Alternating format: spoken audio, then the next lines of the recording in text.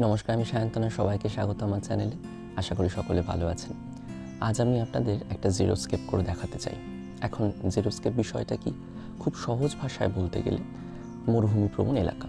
অর্থাৎ যেখানে বৃষ্টিপাত অত্যন্ত কম, মাটিতে জলের পরিমাণ অত্যন্ত কম এবং শুকনো, শুষ্ক জায়গা।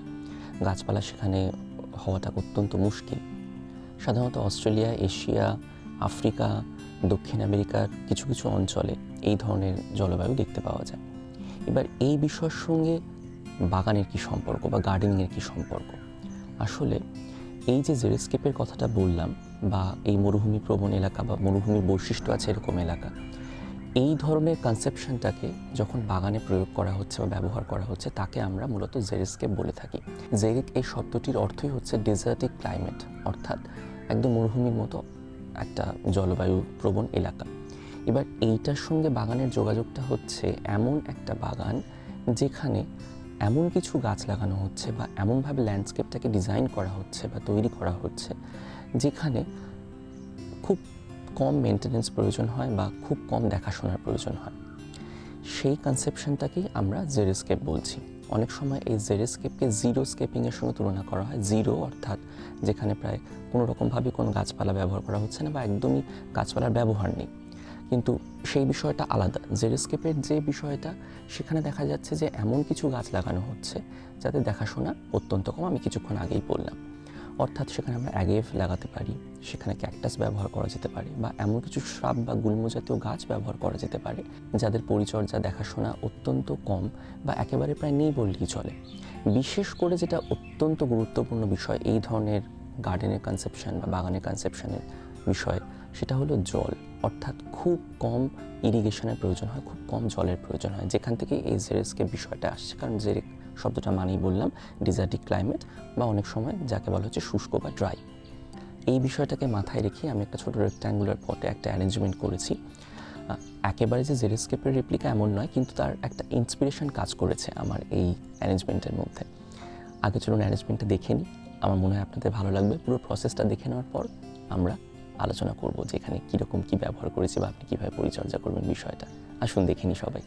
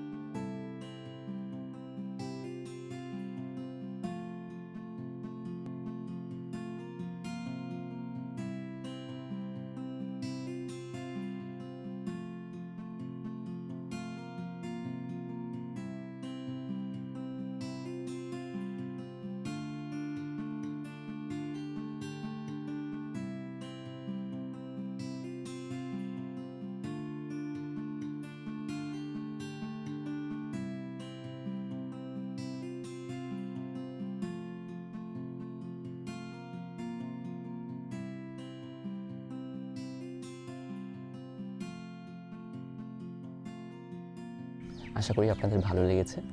প্রথমে আসি, আমি এখানে কী কী জিনিস ব্যবহার করলাম সেগুলোর বিষয়।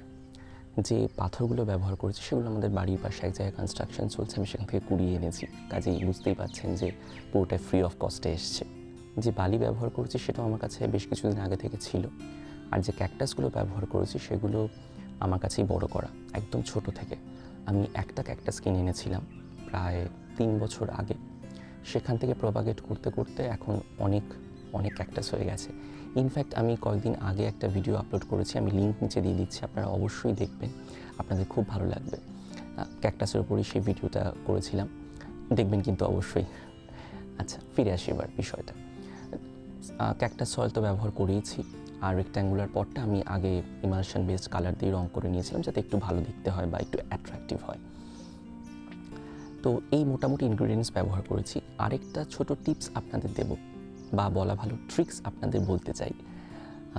সেটা হচ্ছে দেখবেন, আমি যখন বালিটা ব্যবহার করলাম, সেই বালিটা ব্যবহার করার পর তাকে আমি স্টেবল করার একটা ব্যবস্থা করেছি। অর্থাৎ যাতে বালিটা উড়ে না যায় বা অনেক সময় কি হয়, আমরা উপর থেকে জল দিয়ে দিই, তখন বালিটা সরে যায়, মাটিটা বেরিয়ে আসে বা খুব জোরে হাওয়ার ঝাপটা লাগলে বালিগুলো এক জায়গাতে কোনো জায়গায় সরে যায়, পাথরগুলো সরে যায়। বিশেষ করে ছোটো ছোটো নুড়িগুলো সরে যেতে পারে। সেইটা যাতে না হয় বা এই অ্যারেঞ্জমেন্টটা যাতে অন্তত বেশ কিছু দিন বা বেশ কয়েক মাস একদম ইনট্যাক্ট এরকম থাকে, সেই জন্য আমি ফেভিকল মেরিন ভালো করে শুনে নিন ফেভিকল মেরিন সেটাকে ভালো করে জলে গুলেছি, একটু পাতলা করে নিয়ে তারপরে ওই পাথরগুলোর উপরে এবং বালির উপরে ভালো করে স্প্রে করে দিয়েছি। একটু খেয়াল রাখবেন যেন গাছের গায়ে বা ক্যাকটাসগুলোর গায়ে না লাগে, সেরকমভাবে স্প্রে করলে ভালো হয়। এবং আপনারা নিশ্চিন্ত থাকুন, কারণ ফেভিকলের সমস্ত প্রোডাক্ট অ্যাটলিস্ট ফেভিকল মারিন কিন্তু নন টক্সিক কাজেই গাছপালাদের কোনো অসুবিধাও হবে না এবং তাতে গাছপালা মারাও যাবে না। তো সেটা একটু খেয়াল রাখবেন, আপনি যে আঠা ব্যবহার করছেন, হতেই পারে আপনি হয়তো ফেভিকল হাতের কাছে পেলেন না, ফেভিকল মারিন হাতের কাছে পেলেন না। সেই জন্যই বলছি যে আঠাই আপনারা ব্যবহার করুন না কেন, চেষ্টা করবেন যেন সেটা নন টক্সিক হয়। এবং অবশ্যই আরেকটা বিষয়, যেন সেটা ওয়াটারপ্রুফ হয়। তো এটা পুরোটা স্প্রে করাতে কি হয়েছে? আস্তে আস্তে জিনিসটা মানে পাথরগুলো বা বালি সবটাই এক জায়গায় আস্তে আস্তে বাইন্ড আপ হয়ে গেছে। আর মোটামুটি চব্বিশ ঘণ্টা আমি সময় দিয়েছি যাতে পুরোটা শুকিয়ে যায়। তারপর আমার প্রয়োজনে আমি জল দিয়েছি। তো এটা একটু খেয়াল রাখবেন যেন কোনোভাবেই আবারও বলছি ক্যাকটাসের গায়ে না লেগে যায়, তাতে ক্যাকটাসের অসুবিধা হবে না বা গাছের অসুবিধা হবে না। সমস্যা কী হবে যে ওই দাগগুলো থেকে যাবে ক্যাকটাসের গায়ে বা গাছের গায়ে। সেটা খুব একটা দৃষ্টিনন্দন বিষয় নয়। তো এই ট্রিক্সটা কিন্তু অবশ্যই আপনারা ব্যবহার করতে পারেন। এটা আমি অনেক ভেবে চিনতে এক্সপেরিমেন্ট করে করে বার করলাম এবং ভাবলাম আপনাদের সঙ্গে শেয়ার করলে আপনাদের ভালো লাগবে। একটা নতুন কিছু শিখতে পারবেন এবং এটা যদি আপনি করতে পারেন, তাহলে দেখবেন এই রকম ধরনের অ্যারেঞ্জমেন্টের জন্য বিশেষ করে খুব স্টেবল থাকে। সচরাচর কিন্তু মাঠ বালিগুলো বা নুড়িগুলো সরে যাবে না। এবারে বলি জেরেস্কেপ থেকে পাওয়া ইন্সপিরেশনটা এখানে কীভাবে কাজ করল? প্রথম কথা হচ্ছে, অত্যন্ত কম জলের ব্যবহার। যেহেতু ক্যাকটাস ব্যবহার করেছি খুব কম জলের প্রয়োজন হয়। এটা একটু খেয়াল রাখতে হবে আপনি কী ধরনের ক্যাকটাস ব্যবহার করছেন। কারণ একেবারে জেরোস্কেপে যে ধরনের গাছপালা ব্যবহার করা হয়, সেই ধরনের ক্যাকটাস বা সেই ধরনের অ্যাগেভ যদি আপনারা নাও পান বা সেই ধরনের শ্রাব যদি আপনারা নাও পান বা এরকম ছোটো অ্যারেঞ্জমেন্টের জন্য প্রয়োজনীয় বা উপযুক্ত গাছ যদি আপনারা না পান। যেমন আমিও পাইনি, অবশ্যই জিম্ন ক্যাকটাস কোনোভাবেই এরিড ক্লাইমেটের বা ডেজার্টি ক্লাইমেটের গাছ নয়। সাধারণত এই গাছের বড় হয়ে ওঠার জন্য জলের যথেষ্ট প্রয়োজন হয়। কিন্তু যেহেতু আমি একটু আগে বললাম এটা একটা ইন্সপিরেশন সেই জন্য যাতে একটা ওই রকম জেরোস্কেপের একটা লুক পাওয়া যায়। তো সেই জন্য আমি ক্যাকটাসটা ব্যবহার করেছি। এই ধরনের জীর্ণ ক্যাকটাস ব্যবহার করলে আপনারা সপ্তাহে একবার জল দিতে পারেন। যখন জল দেবেন, আমি বলব পাথরের ওপরে হালকা করে জল দিন বা গাছগুলোর ওপর থেকে জলটা দিন। যাতে ডাইরেক্টলি বালির ওপরে যদি জলটা দেন অসুবিধা হবে না, কারণ যেহেতু পুরোটাই বাইন্ড আপ আছে আঠা এবং ওয়াটারপ্রুফ সেই জন্য অসুবিধা না হওয়ারই কথা মানে অন্তত আমার এক্সপিরিয়েন্স তো তাই বলছে। কিন্তু সেফ সাইডে থাকার জন্য আপনি মোটামুটি পাথরের উপরের দিকেই জল দিন বা গাছগুলোর উপরে জল দিন, তাতে কি হবে? একটা জিনিস খুব এনশিওর থাকবেন আপনি যে জলটা একেবারে রুটের কাছে পৌঁছচ্ছে। কারণ অনেক সময় কী হয়, ধরুন আপনি জল দিলেন, আপনি যেহেতু মাটি দেখতে পাচ্ছেন না, পুরোটাই বালিতে ঢাকা এটা মনে হতেই পারে আপনাদের যে জলটা ঠিকঠাক পৌঁছলো না বা পুরো ভালোভাবে হয়তো থরলি মাটিটা ভিজলো না। সেক্ষেত্রে একদম নিশ্চিন্ত থাকার জন্য আপনি যদি ক্যাকটাসের চারপাশ থেকে জলটা দেন বা ক্যাকটাসের ওপর থেকেই জলটা দিতে থাকেন, তাহলে সুবিধা কী হবে? আপনি বুঝতে পারবেন যে ক্যাকটাসের যে রুট জোনটা সেটা পুরোটাই আর্দ্র থাকবে বা ভিজে থাকবে এবং ক্যাকটাস প্রয়োজনীয় জলটুকু টেনে নিতে পারবে মাটি থেকে।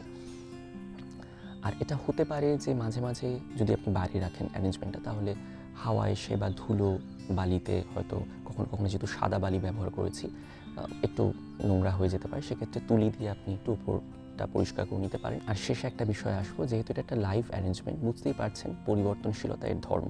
অর্থাৎ গাছগুলো আস্তে আস্তে বাড়বে, বড় হবে, আপনি দেখবেন হয়তো পাথরগুলো আস্তে আস্তে সরে যাচ্ছে বা পাথরগুলো হয়তো পাথরের মাঝখান থেকে ফাটল ধরছে বা বালিগুলোর মধ্যে ফাটল ধরছে, যেহেতু মাটি ডিকম্পোজড হয়ে আস্তে আস্তে নিচের দিকে বসে যাবে, তখন বালি এবং মাটির মাঝামাঝি ফাঁক তৈরি হবে এবং সে জায়গাটা আস্তে আস্তে ফেটেও যেতে পারে। তখন মোটামুটি আপনাকে সেরকম ব্যবস্থা নিতে হবে। ব্যবস্থা কিছুই না, যেহেতু এটা একদম পার্মানেন্ট কোনো সলিউশন নয় বা পার্মানেন্ট কোনো অ্যারেঞ্জমেন্ট নয়। কাজেই আপনি এক বছর পর বা ছ, সাত মাস, আট মাস পর আপনি এটাকে জাস্ট অ্যারেঞ্জমেন্টটাকে ভেঙে আপনি নতুন করে অ্যারেঞ্জমেন্ট তৈরি করতে পারেন বা আপনি পুরো শরীর রেখে অন্য কোনো জায়গায় গাছগুলোকে বসাতে পারেন বা আপনি এভাবে রাখতেও পারেন। কারণ আমি এরকম মাঝে মাঝেই করে থাকি এবং সেগুলো মোটামুটি এক থেকে দেড় বছর থেকেই যায়। জেরোস্কেপের মধ্যে একটা মিনিমালিস্টিক অ্যাপ্রোচ আছে। এই বিষয়টা আমাকে খুব আকর্ষণ করেছিল। আমরা সাধারণত যে বাগান দেখতে অভ্যস্ত, অর্থাৎ ফুলে ফলে, গাছপালায়, ডালপালায় ছড়িয়ে থাকা একটা সুন্দর সবুজ আবেদন নিয়ে তৈরি হওয়া একটা বাগান। সেই বাগানের সঙ্গে কিন্তু এই ধরনের বাগানের খুব বেশি যোগাযোগ নেই। এই ধরনের বাগান সাধারণত ছড়িয়ে ছিটিয়ে থাকা, পাথর, বালি, একটা রুক্ষ, শুষ্ক প্রকৃতির যেন রেপ্লিকা আপনারা বলতে পারেন সেই রকম একটা পরিবেশ তৈরি করার চেষ্টা করা হয় এই ধরনের বাগানের ক্ষেত্রে। এবং এমন গাছপালা এখানে ব্যবহার করা হয় যে গাছপালার মধ্যে একটা খুব সহজ সরল আবেদন আছে। খুব বেশি ডালপালা, পাতা ছড়িয়ে তারা অহেতুক কোনো জটিলতা সৃষ্টি করেনি। তো এই বিষয়টা আমার এই অ্যারেঞ্জমেন্টের জন্য খুব বড় একটা ইন্সপিরেশন হিসেবে কাজ করেছে।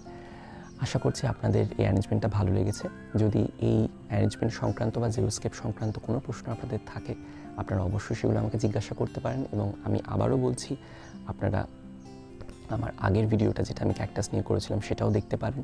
আপনাদের সকলের ভালো লাগবে। যদি ওই ভিডিও নিয়ে কোনো প্রশ্ন থাকে, আপনারা সেটাও আমাকে জিজ্ঞাসা করতে পারেন। আমার খুব ভালো লাগবে উত্তর দিতে। সবাই ভালো থাকবেন, সুস্থ থাকবেন এবং শেষে একটা কথাই বলব, নতুন কিছু চেষ্টা করতে কিন্তু কখনোই পিছিয়ে যাবেন না। এবং যদি আপনারা এরকম কিছু অ্যারেঞ্জমেন্ট করেন, তাহলে কিন্তু আমার ওই ট্রিক্সটা ব্যবহার করতে ভুলবেন না। ভালো থাকবেন সবাই, সুস্থ থাকবেন।